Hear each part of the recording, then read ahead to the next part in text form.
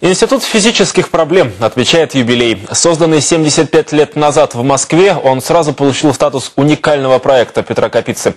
Он и был создан специально для переноса исследований известного ученого из Англии в СССР. От остальных институтов он всегда отличался малым штатом. В первые годы здесь работало всего 10 научных сотрудников, сегодня около полусотни.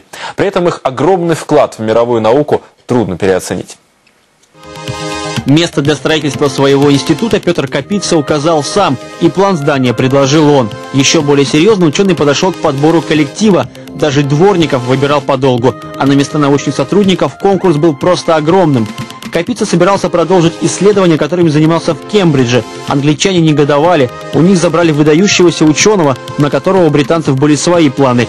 Да и оборудование для него уже купили. Новейшее и очень дорогое. Был международный скандал, а потом Советский Союз выкупил всю технику и вопрос закрыли. Сейчас это просто коридор, одно из проходных мест института, но в конце 30-х годов здесь проводили важные эксперименты. С помощью этого гигантского генератора электрического тока, который Капица привез из Англии, сотрудники создавали сверхсильные магнитные поля. Сейчас аппарат не работает, но как ровесник института остается на своем историческом месте.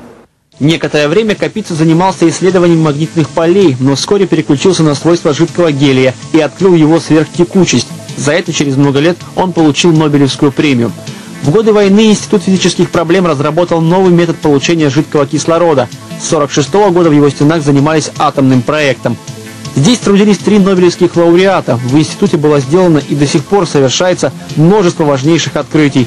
Капица заложил основу для творчества. Он перенес сюда традиции Кембриджа. Одна из них – своеобразная демократия. Никакой вертикали власти. Начальник один, директор. И по рабочим вопросам говорить с ним можно как с равным. Если бы вы побывали у нас на семинарах и на заседаниях ученого совета, вы бы увидели, как там, например, на меня мои, так сказать, ученики кричат и топают ногами, когда я говорю про науку что-то такое – с чем они не согласны. Они люди квалифицированные, доктора наук, член кора, и они имеют право со мной не согласиться.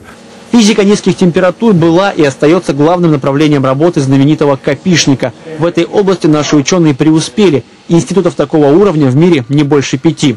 И хотя результаты исследований не сразу находят практическое применение, они сыграют свою роль в будущем. Это уже доказала история. Александр Бережной, Денис Красенков, служба информации, телеканала «Культура».